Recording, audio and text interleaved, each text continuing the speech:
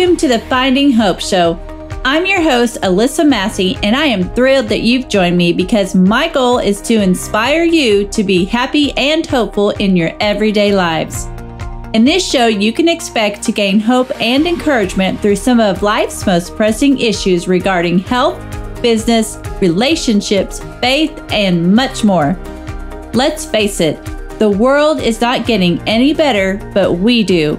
Join me once a week to discover your highest potential as we learn to put God first in everything and find hope in a turbulent world.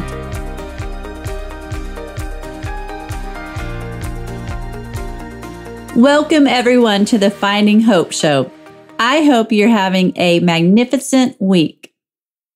Last week, I gave you some insight into my own history with depression and anxiety.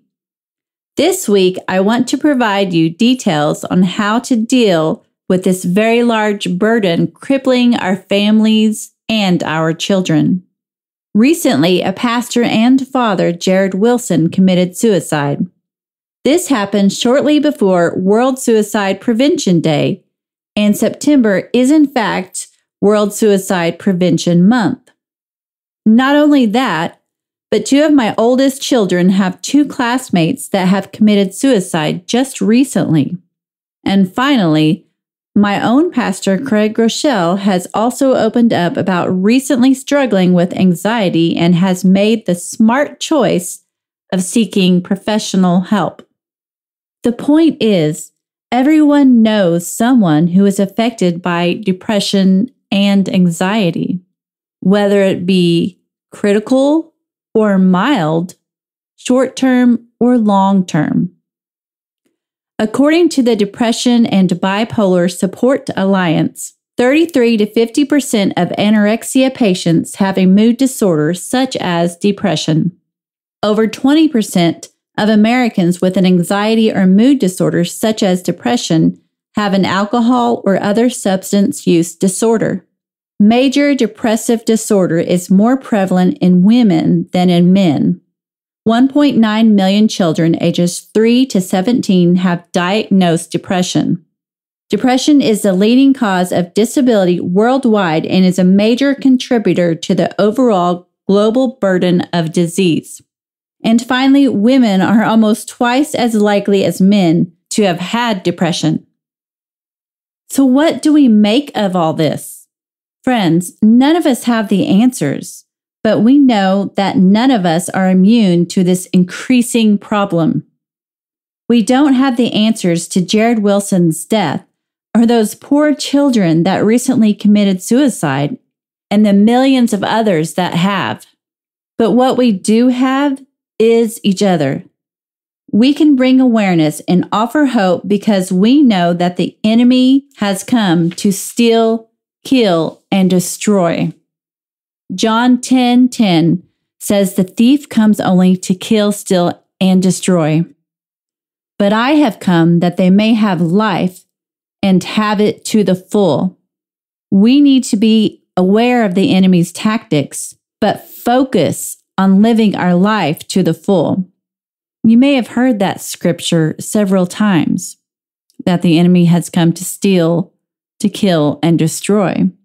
But we must put emphasis on the fact that Jesus has come to give us life and live it to the full.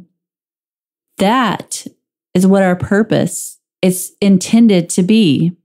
So you and I have to reclaim what is already ours. We just have to make it through and not give up. So, how do people with depression and anxiety live their lives to the full when there's constant attacks on them every day, or they're consumed by worry and fear? Well, first understand that, like I just said, Jesus intended our lives to be lived to the full. And knowing that that is our purpose, we know that we can make it through this. Don't give up. I believe there is an answer but it's not a quick fix. Sufferers of anxiety and depression need ongoing support and grit, and God gives us the strength to proceed. There are many causes of depression and anxiety, And even in my own story, there have been many factors at play. Some was caused from my own poor decisions. I once suffered with an imbalance in my gut. If you don't believe me, Google it. There is a relationship between the good bacteria in your gut and your mood. And last, there was a time there was chemical imbalance at play. Keep in mind, it's important to know the cause of your anxiety and depression so that we are more equipped to properly address it. The causes of your anxiety or depression could be A, circumstantial, B, sociological, C, a chemical imbalance, or D, your gut health. Now, I'm not a doctor, but I did go to the school of hard knocks. However, it is important that you speak with your doctor about your concerns, but also be aware that your doctor may not have the answers you're searching for, as in my case. One thing is certain if we seek God for our answers, He will always lead us in the right direction. Like I said, my doctor did not have the answers, but for me, God did. Above all else, the devil is behind all of these factors. It's not like he says, Oh, hey, it's the devil here. I'm going to come and attack your family now. No, he's sneaky about it. And this is why he pulls the wool over our heads so many times. We're not prepared to deal with it. Or some of us may not know that he even exists. But becoming aware that there is an enemy that is attempting to destroy you may just help you out a little. So, once we figure out a little bit more of what may be going on with our bodies and our minds, how do we attempt to get help? First of all, if you are considering taking your life, don't hesitate. Immediately call the Suicide Prevention Hotline at 1 800 273 8255. The following are some ways to deal with your depression. Number one, First step after you know the possible cause, pray about what to do next and then start acting. James 2:17 says in the same way faith by itself if it is not accompanied by action is dead. Faith without works is dead. God may or may not miraculously heal us, but we must immediately start reaching out. Number 2, get support.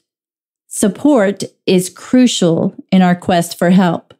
Support motivates us, and not just any support will work. We must find positive support. For example, in my own recovery, the AA group I attended every day was a major factor in my healing and sobriety. Why? Because many people were going through the same struggles as myself and offered genuine help. Whereas before, I had fake friends with hidden agendas, and this only hurt me. Support could come from a pastor, a loved one, or a specified group, or even an online group. Remember, friends and family are supposed to be supportive and encouraging in your dealing with depression and anxiety. I'll repeat that. Friends and family are supposed to be supportive and encouraging in your dealing with depression and anxiety. Which brings me to my next point. Number three, avoid negativity. It's very important to avoid negativity at all in your life, but especially in your healing. Your mind is already flooded with negative thoughts to begin with. And in order to break free from this bondage, you have to avoid any negativity that may surround you. Number four, find Christian counseling. You don't just need any counseling. Be very careful in your search. You need someone who is an expert at mental health, but also knows Christ so that you are getting advice that is biblical. There are many people, including professionals out there, that have hidden agendas. You need someone you can trust and someone that understands the value of making God the center of everything. Remember, the world will fail us, but God always has our best interest at heart. And even once you find a Christian counselor, still pray about it because they too could have a hidden agenda. Pray about it and seek the counselor, the Holy Spirit. Number five, get healthy. Do not underestimate the power of exercise and nutrition regarding your mental health and anxiety. This has also been a major factor in my own recovery. Exercise releases dopamine, the feel good hormone. And as a recovering alcoholic and a drug addict, I thrived off dopamine. This increases your chances of overcoming feelings of dread and doom. Make exercise and your food choices a daily habit. First thing in the morning, get up, read your devotions, write out your goals for the day, including what you're going to eat, and get busy. Nutrition goes hand in hand with exercise and is even more important. You are what you eat. Unless you are a teenager with a extremely high metabolism, all of us have to be concerned with what we are putting in our bodies. But it's not just about gaining or losing weight. What we put in our bodies affects how we feel. Get rid of the junk, the sugar, and artificial anything and stick to whole foods the way God intended. I once fasted, although this was extremely hard for me. I believe my body went into shock getting rid of all the sugar. But I do remember as I ate only vegetables for a few days, I had never felt this good in my entire life. I think that most of us don't even know how good we are designed to feel because we are always bombarded with crap. Number six, never give up. Most people will give up and have gave up before the miracle even happens. I would have given up on recovery, but I, I chose to stay strong. I knew there was something more. There was that seed that God had planted a long time before. So I chose to take the hard route, but I can tell you now, it is so worth it. And right now, I am here in this moment sharing with you. And if I would have gave up, this would have never happened. Friends, the enemy did want that to happen. Just like the many mistakes that I made all throughout my 20s, I was not aware of my calling at the time, and I did cave into the devil. And that's why I fell far behind. But it's never too late, and God uses everything. And not only that, He uses it for our good. I didn't die, I didn't give up, I got the faith in God. I did the work. I had the grit. And now I'm here helping you to get something positive out of this message. And if you, friends, stay persistent in your quest for help and positive change and choose to don't give up, you too will be helping others, giving God all the glory. Your story will be a testimony for God's greatness just like the stories of the great characters in the Bible who God used to do great and miraculous things.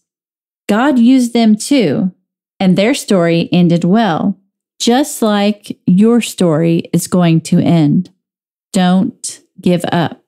There is hope, and help is on the way.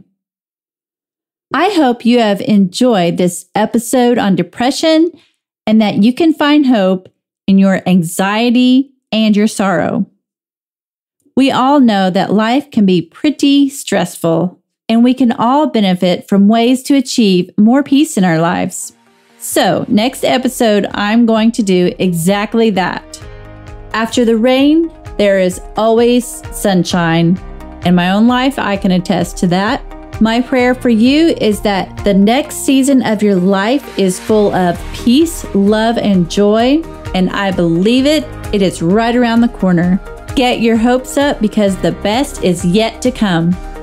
If you would like to receive updates on all my latest news, including information about books, upcoming speeches, promotions, and much more, kindly go to alisamassey.com and enter in your email. And don't forget to hit subscribe to this podcast.